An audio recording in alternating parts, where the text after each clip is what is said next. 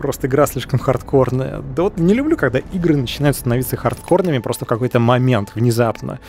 Типа в остальные моменты все норм, а тут вот возьмите, получите, распишитесь. Вот вам хардкор немножко.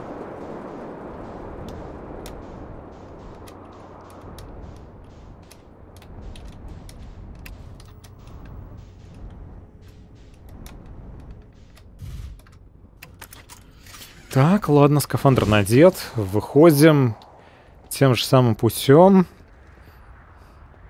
Ох, от тебя еще до песочка не, подогра... Э, не подгорал. От песочка не подгорал. Все, да, слишком нанервничался. У меня язык же заплетается от таких выкрутасов, серьезно. Ты надеешься, что вот, все нормально, ты э, попал в нужный переход, а хренакс теперь тебе еще один переход дают, и он сложнее предыдущего. Потом тебе говорят, будет еще хуже. Ну, обрадовали.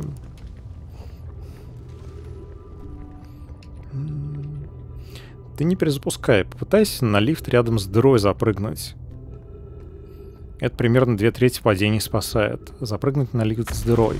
Но это нужно еще приноровиться на этот лифт дырой, с дырой прыгать. Ну, я постараюсь. Как бы, понимаете, с первого раза вообще на самом деле сложно такие выкрутасы сделать. Однако же, когда смотришь, особенно в записи, появляются люди, которые думают, что Дайс, типа, должен идеально все делать с первого раза. Если нет, ну, все, Дайс кошмар, криворукий рукожоп. И вообще он нас разочаровал.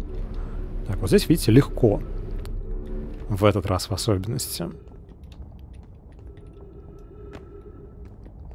Так, идем на юг, идем на юг.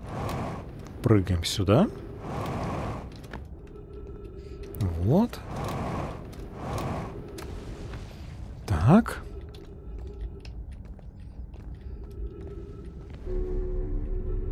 Еще временами я, возможно, путаю кнопку пробела, которая останавливает.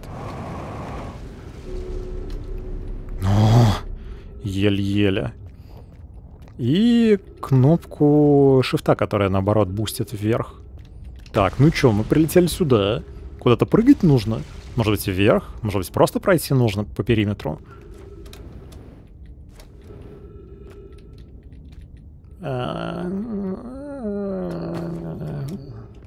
Куда я прилетел, черт возьми? Черт побери. По-моему, я прилетел в какой-то тупик. Все, тут только... А, не, вот тут вот что-то есть. Кристаллы есть. Да. Кристаллы, кристальчики, все, вот это другое дело.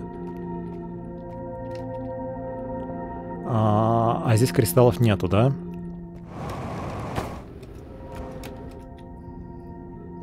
Перепрыгнули? Перепрыгнули. Окей.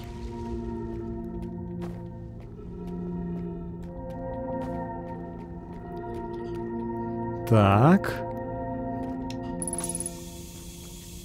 Прыгаем сюда. Наружные деревья. Куда мы теперь отсюда можем прыгнуть? То есть тут выпал кристалл.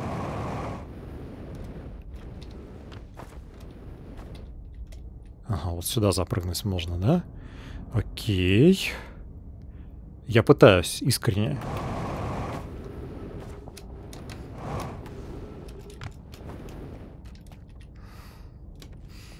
Искренне пытаюсь. Можем сюда запрыгнуть, интересно, все-таки или нет?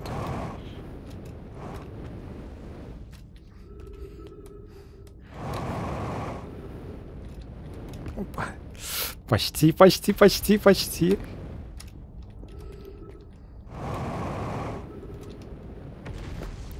Сюда запрыгнули, окей.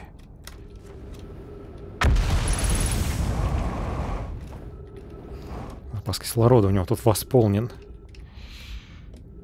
Фу. А нет пути забудить и пропихнуть туда свой корабль. Да я бы не отказался от такого пути, вы знаете. Так, ну чё? Возможно, нам нужно прыгнуть сюда тупо. С другой стороны, здесь был подъем какой-то вот сюда. Другой. Да, я так понимаю? Да нет. Все это я неправильно понимаю. Ну чё, прыжок веры, понеслось.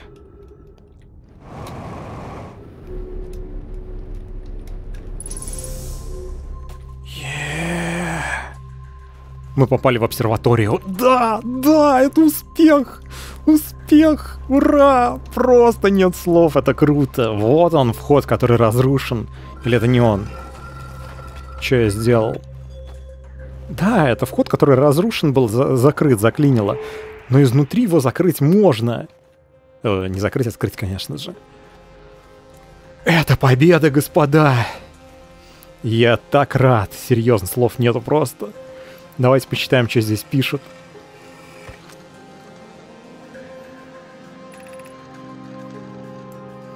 После он, мы с Седмом поднимали детали орбитальной зондовой пушки на орбиту, но одна из них вдруг ушла под воду. После он, тебе надо было это видеть. Мы думали, что деталь поднимается на орбиту, как обычно. Она ушла под воду. Касава убедил меня не экспериментировать с другими деталями, но я хочу выяснить, как это могло произойти. Мне казалось, на этой планете утонуть невозможно. Спасибо, что поставил меня в известность, это действительно интересно. Крона создал модель пучины гиганта здесь, в Южной обсерватории на пустотной сфере, и выяснил, как предметы могут утонуть. Послен, я не могу сделать вывод по проекции. Если я лично посещу обсерваторию, то объяснишь суть? Если тебе не в тягость пробираться к Южному полюсу под землей, приходи в любое время.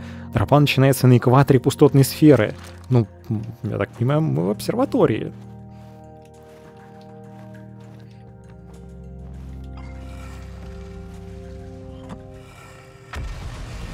Ну, теперь-то запишись, говорит кот жизнь... э, э, Александр Кот. А, ну, так-то почему бы и нет. Но, кстати, видим то самое место, где мы уже бывали, и где мы видели это место, по-моему есть, типа, они связаны друг с другом.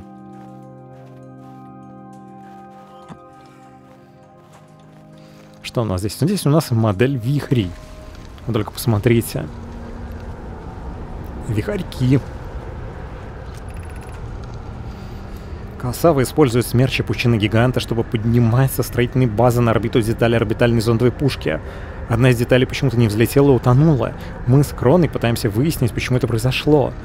Новые данные выяснилось, что существует два типа смерчей. Большинство смерчей пучины гиганта вращаются по часовой стрелке, с их помощью Касава посылает детали на орбиту. Однако встречаются смерчи, вращающиеся против часовой стрелки. Они не поднимают предметы, погружают их в воду. Спасибо, Крона. После он показал мне твою работу, и я заинтересовался вторым типом смерчей. Правда, я бы все понял и без физической модели их действия. Модель поможет нам при исследовании пучины гиганта. К тому же я очень люблю собирать модели. Все, то есть нам нужен особый тип смерча, и, и, и мы можем спуститься вглубь. Ура! Прогресс, реальный прогресс. Прям чувствуется, что мы действительно нашли те данные, которые нас интересовали. Что у нас есть?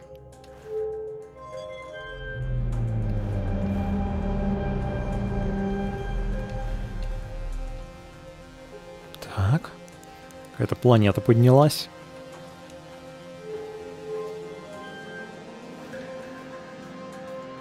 А, нет, это не планета, это вроде бы модель типа звездной системы. Да, она увеличивается. Точнее говоря, это различные планеты появляются в этой модели. То есть вначале мы типа активировали Солнце, потом первую планету от Солнца, там вторую планету от Солнца. А это... А, а что это? Это какие-то тела, которые вращаются вокруг звездной системы за ее пределами?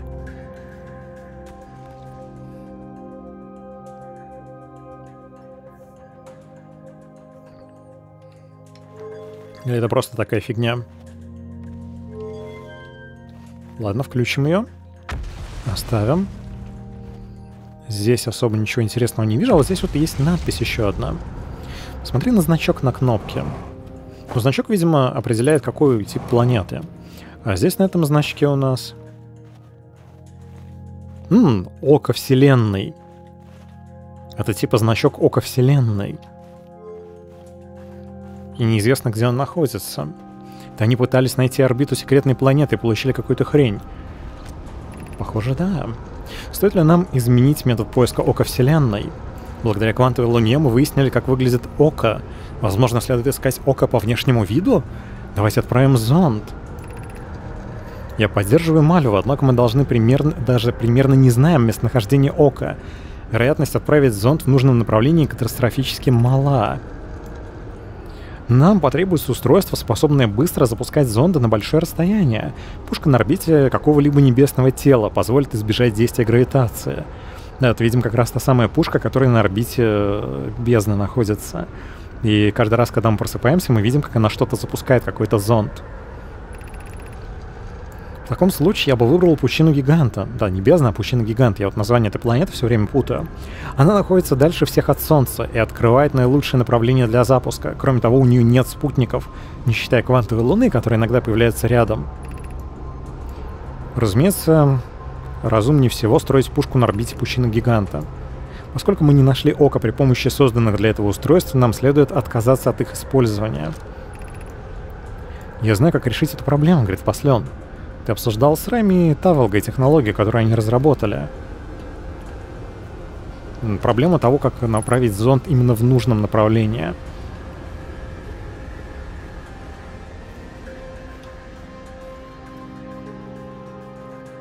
Ну вот, в общем-то.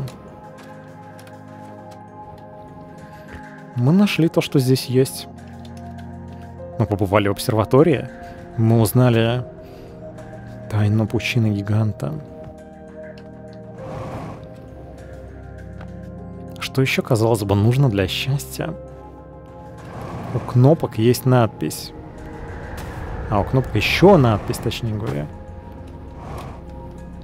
Давайте посмотрим, чтобы уж точно ничего не упустить. Я очень сильно сомневаюсь, что я в ближайшее время сюда буду возвращаться. А, с обратной стороны кнопок, да, есть надпись. Действительно. Давайте ее посмотрим. Чуть не пропустил. Спасибо, что напомнили мне. Спасибо, Александр Кот. Что мы узнали, пока искали Око Вселенной? Засек сигнал Ока, наш звездолет, и мы совершили гиперпрыжок в эту звездную систему, но не обнаружили здесь Ока. Локатор, который мы поставили на Терриконе, и более чувствительный локатор, созданный здесь, не смогли поймать сигнал Ока предположение Ока перестало издавать сигнал. Судя по нашим данным о квантовой Луне, Ока находится на орбите Солнца этой звездной системы. Это ограничивает пространство, в котором может находиться Ока, хотя оно и остается огромным. Вероятно, Ока не хочет, чтобы его нашли. Какое странное предположение Касава Ока призвало нас в эту звездную систему. Я знаю, мне все детство рассказывали историю о Боке, однако с момента прибытия мы так и не приблизились к нему. То есть Око завлекло их в эту звездную систему и после этого перестало подавать признаки жизни, точнее говоря, подавать сигналы. Сигналы стали хаотичными, они указывают на то, что оно одновременно везде и нигде. Как-то так. Служу Арстоцке. Спасибо, комрад. Так, ну чё? Теперь-то точно мы можем сюда не возвращаться. Ура! Ура! Успех, успех. Мы узнали о том, вообще вот в этой серии, мы узнали о том, чем занимались на Мае.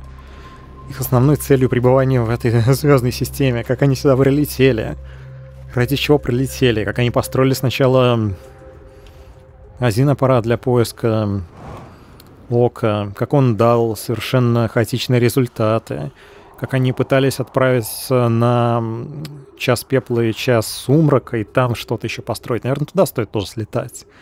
Как потом они все закончили тем, что построили пушку на орбите пучины гиганта. Так, где у нас там корабль? Всего-то 458 метрах. Почти рядом. Да, и как они еще нашли квантовую луну и начали ее исследовать. Мы пока еще не знаем, что за история там была с э, э, этим... с кометой. То вон она летает. Видите? Летает и летает. В общем, сейчас прочитаем журнал быстренько. Топливо на исходе говорят. Но я понимаю, да. Я думаю, до корабля нам его хватит. Также мы узнали, что в начале каждого цикла пушка выстреливает зондом, пытаясь найти око. Да, да. Но это мы уже давно видели, что пушка выстреливает, но теперь мы узнали, зачем она выстреливает. Вот. Они обожествляют око, похоже, и думают о нем как разумном объекте, который от них чего-то хочет. Хотя он, скорее всего, просто странный физический феномен. Вот это одна из ошибок действительно людей, которые пытаются интерпретировать различные находки ученых, различные космические сигналы и прочее. Нам, людям, благодаря нашей природе, благодаря, собственно, тому, что тому, как устроен наш разум, всегда хочется видеть везде какую-то разумную волю во всем. В древности люди видели в каких-то свойствах природы, деяния богов и прочее. Сейчас мы до сих пор верим в различные религии, и э, даже если не верим в религии, верим в различные теории заговоров, что какие-то силы что-то придумали, что вирус не просто так появился, который устроил пандемию всемирную, что это чьих-то рук дело, кто-то специально его разработал в секретных лабораториях, что невозможно была простая мутация просто потому, что так природа устроена. Фигли. Вот мы так устроены, действительно, что мы все время везде ищем какое-то разумное объяснение. Кто знает, может быть, для инопланетян это будет точно так же характерно, просто потому что законы природы, Вселенной так устроены, что разум, который появляется, он, соответственно, ищет себе подобное везде во всем. Объяснение в том, что что-то другое разумное стоит за всеми явлениями. И так или иначе, это в большинстве случаев не так. Вся наша история, по большей части, человечества, построена на том, что люди везде искали различные разумные объяснения в виде богов, духов, сил различных, таких, э, которые стоят за всем происходящим. В итоге ничего подобного так нигде не удалось обнаружить ни разу, фактически. Вместо этого мы узнали очень много о природе, о том, как она устроена, то, по каким законам работает. Не все, конечно, законы до сих пор мы полностью точно выяснили, но так или иначе, так или иначе мы в этом направлении движемся. Но нам все равно свойственно вот это благодаря нашей природе желание постоянно находить разумное там, где его нету. Поэтому, кстати, например, у астрофизиков есть такое правило, что если эм, вы нашли какие-то сигналы, похожие на сигналы разумной деятельности каких-то других существ, то это разумная деятельность в самый последний момент. То есть нужно исчерпать все возможные теории, все возможные варианты, и только потом уже, если уже просто вот ничего не подходит, просто ничем другим это нельзя объяснить, только тогда можно задумываться о том, что здесь замешан какой-то инопланетный разум. Ну вот. То есть в первую очередь нужно найти максимально прозаичное объяснение, которое не требует вмешательства другой разумных жизни. Александр Кот говорит, имха — это очень человечная деталь сюжета. Да, я об этом говорю, это очень хорошая деталь сюжета, он очень правильно как раз э, берет и замечает вот эти особенности нашего человеческого мышления. Да, если ты кого поддерживаешь, Трампа или Байдена? Кролик, ты чё, Путин, конечно, ну фиг ли, ну какие-то Байдены, Трампы, да о чем вообще, о чем? Кого еще можно поддерживать, кроме нашего родного? Э, что невозможно, что Дайсу все равно, кто президент другой страны? что невозможно, чтобы Путин захватил Америку и стал ее президентом. ладно, ладно, хватит шуток. Орбитальная зондовая пушка. Мы узнали, что на Майе решили сконструировать пушку на орбите пучины гиганта. И это свежие новости, очевидно. Очевидно, око Вселенной создали коммуняки. Во, Emergency, отличная теория, мне нравится. Так, чуть поближе. Большинство смерчей пучины гиганта вращаются по часовой стрелке. С их помощью на Май посылали детали на орбиту, однако есть смерч, вращающийся против часовой стрелки. Он не поднимает предметы, а погружает их под воду. В Южной обсерватории мы нашли, что новый более чувствительный локатор, который на Мае собирались собрали в обсерватории, не смог засечь сигнал ока. Собрав большие сведения о квантовой Луне, они предположили, что око движется по, деталь... а, по дальней орбите вокруг Солнца. Они перестроили тут и перестали искать сигнал ока, и вместо этого попробовали найти его на внешнем по внешнему виду, используя зонд. Было высказано опасение, что вероятность отправить зонд в нужном направлении катастрофически мала. Так, что еще мы узнали на этом цикле? Вот здесь у нас есть новые сведения о высокоэнергетической лаборатории. Отрицательное время, зафиксированное на станции «Белая дыра», стало предметом исследований высокоэнергетической лаборатории в каньоне на экваторе «Час угля». Надо будет посетить «Час угля» и «Час пепла». Станция «Белая дыра». Каждая из гипербашен на Майе связана с тем или иным небесным телом. Чтобы переместиться, нужно стоять на платформе в то время, когда башня будет указывать на соответствующее небесное тело. Но на Майе заметили аномалию. Переносимые объекты выходили из гиперпрыжка на пустотной сфере раньше, чем входили в него на станции «Белая дыра». Ну, давайте скажем честно, время относительно, что они тут просто парят на себя мозги. Кому раньше, кому позже. Отрицательный интервал между входом и выходом был очень мал, примерно 1 стотысячная доля секунды. На Май не были уверены, может ли их оборудование настолько точно измерять время. То есть интервал они нашли, не, они нашли типа погрешность, такой вот э, эффект, но они не были уверены в том, является ли это погрешностью измерений, что, кстати, одна из основных причин, когда можно найти какие-нибудь сенсационно новые данные в физике и вообще в науке. Вот часто вот я слышу от разных дилетантов и других просто таких обывателей, что да это все просто чье-то мнение, что это ерунда, вот ученые просто так посчитали и поэтому так сказали. Обычно в науке как принято. Если у вас есть какие-то данные, результаты, вы их просто миллиард раз проверяете и ищете все возможные объяснения, которые опровергают то, что это что-то новое там погрешности измерений, различные влияния внешних факторов каких-то, которые вы просто тупо не учли, возможность того, что это просто часть какой-то другой теории, которую вы там не учли, еще что-то подобное. И вот какие-то реальные, серьезные открытия, они могут быть признаны только тогда, когда вы исчерпали огромнейшее количество различных вариантов, которыми можно опровергнуть эти ваши результаты. И у вас остается фактически только вот это подтверждение, которое полностью хорошо его описывает. Одно. Вот. Обычно люди считают, что все в науке устроено типа мы смотрим сюда, видим что-то, делаем вывод на пальцах и говорим сенсация, открытие. Нифига подобного, так только журналисты делают реальные ученые очень скептично настроены к своим же собственным результатам и измерениям. Их очень-очень долго перепроверяют, потом все это где-нибудь перепроверяется другими учеными, публикуется, рецензируется, проходит все круги ада для того, чтобы найти все возможные неточности, неправильные формулировки, потенциально некорректные постановки экспериментов, погрешности, влияние сторонних факторов и так далее. В общем, в этом вся прелесть науки, в том, что она пытается быть максимально объективной и при этом критичной к себе, к своим собственным выводам же.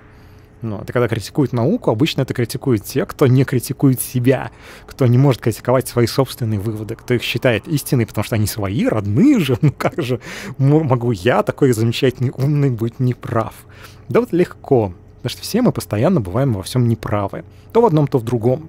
И когда вот играешь в эту игру, я нашел, по крайней мере, в ней один замечательный позитивный момент, который мне очень нравится. То, что она заставляет задуматься о таких вот вещах, о различных научных мелочах, о различных э, Э, вещах из астрофизики и просто из физики, которые мне лично нравятся. Я вообще очень люблю эти темы. Они для меня довольно привлекательными, интересными являются. И вот когда появляется возможность, повод поговорить об этом, это же замечательно, что прям вообще отлично. И тут прям вот показано, что они ставят какие-то эксперименты, если на мае, какие-то у них есть теории. Они, безусловно, очень поверхностно и крайне э, так популярно объясняются, что типа вот они думали об одном, о другом, деталей явно здесь нету но все равно это показывает, что они ставят какие-то теории, потом их отбрасывают, пытаются построить новые эксперименты и так далее. Это круто. Это хороший подход для того, чтобы людям ну, немножечко э, такой вот э, дать толчок, желание вот со всем этим более серьезно к этому относиться более серьезно.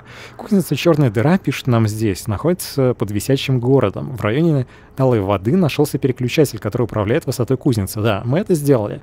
Просто как туда попасть? На май по имени Лака хотела создать высокотехнологичное гиперядро. Район Черной дыра самый высокий в висячем городе. Вопрос, как туда попасть, до сих пор неизвестен. В районе талой воды нашелся переключатель. Мы это видим. Город висит под э, северным ледником пустотной сферы. Он вертикально разделен на четыре района. К сожалению, нового ничего нам это не говорит. Разрушенное ядро. Мы еще не все здесь исследовали, да, я знаю. Это старая тема, мы сюда не скоро вернемся, скорее всего. Так, что еще тут? Я уже уснул, говорит Рейгон, а что происходит? Как что происходит? Ты что? Ты что? Мы нашли способ, как спуститься под воду в пучине гиганта. И мы это сделаем обязательно на следующем стриме. Башня квантовой истины. На мае по имени Соланум посетил башню квантовой истины на экваторе пустотной сферы, чтобы узнать последние правила перед паломничеством на квантовую луну. Хм, башня квантовой истины. Мы в ней были? По-моему, нет. Хм, Дес-просветитель. Да, и поэтому она вопросиком отображается, что мы тут типа еще не были. То есть мы знаем некоторую информацию о квантовой луне, э, от башни квантовой истины.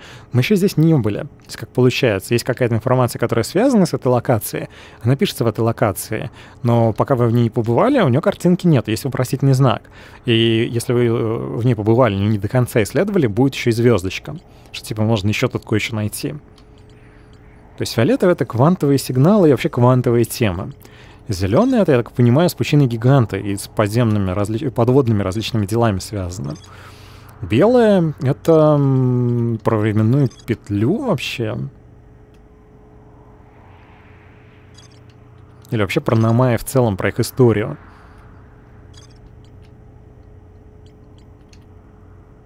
Да, видимо, про историю Намая. Красное. Крушение, звездолет. Это про крушение про их выживание, изучая ископаемого удильщика, что можно избежать встречи с удильщиком. Да, это типа про выживание. Оранжевое...